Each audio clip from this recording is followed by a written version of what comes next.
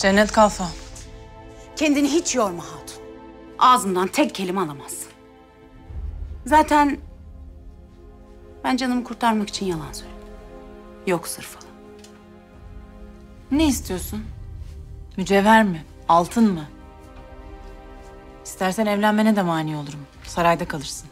Sen beni satın alabileceğini mi sanıyorsun? Evet. Safiye Sultan'ın yaptığı da bu değil mi? Etrafındaki herkesin sadakatini satın alıyor. Bedelini söyle kafi. Gözem Hatun, beni çileden çıkarma. O güzel boynunu kırarım. Kimsenin ruhu duymaz. Cesaretin varsa yapsana.